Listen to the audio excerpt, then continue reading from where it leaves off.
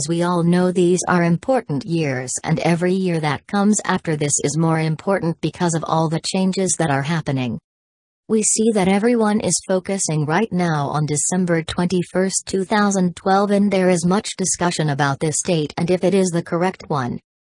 In my opinion, and I know there are more, I see the big change happening a lot sooner.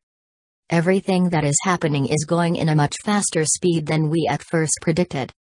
So many are working on the change of going from the third or fourth dimension into the fifth dimension that time is speeding up more and more.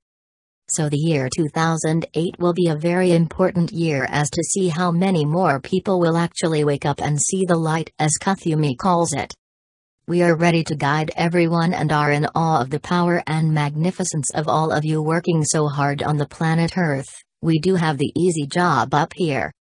Another thing I would like to explain more about is all the information that people will be leaving the planet because they are the so called left behind people, the ones that have not yet awakened and have no understanding of what is happening. I see it this way planet Earth is physically moving into the fifth dimensional consciousness or plane or dimension as some call it. There are several dimensions in and around the planet. They all exist in the same space, only difference is the vibration or frequency. Many people will move into the fifth dimensional consciousness and will stay there. But there are people who are working on being able to travel between different levels of consciousness. These are the people that will still be helping those so-called left behind people to wake up and to give them understanding of what has happened to the planet and how they can still make the jump to the fifth dimensional consciousness as well. So in my opinion no one will actually be left behind. There might be some that will need longer and they might make the choice to incarnate on a different planet that is still in their level of consciousness physically. But all those other planets will be working on going into the fifth dimensional consciousness as well, so as you can see there is not much difference in staying or incarnating on planet Earth or any other planet. I have heard many light workers say that if you do not do the work now, you will be left behind. This is what we call the influence of the ego of the light worker.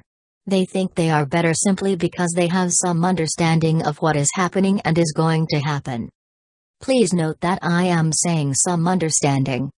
Please be honest with yourself and admit there is much information out there and they are the same in certain ways, but there are also several conflicting opinions. Do not forget that the information coming out through different channels usually is for the group that will be reading it and is for their level of understanding. The same with this message, you are the only one who can decide the truth for you at this time.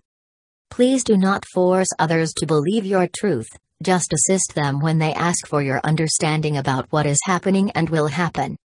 Do not scare others into believing by saying they will be left behind. This is not the way of the heart. So, a little prediction and some advice for your journey. I leave again with love in my heart. Sananda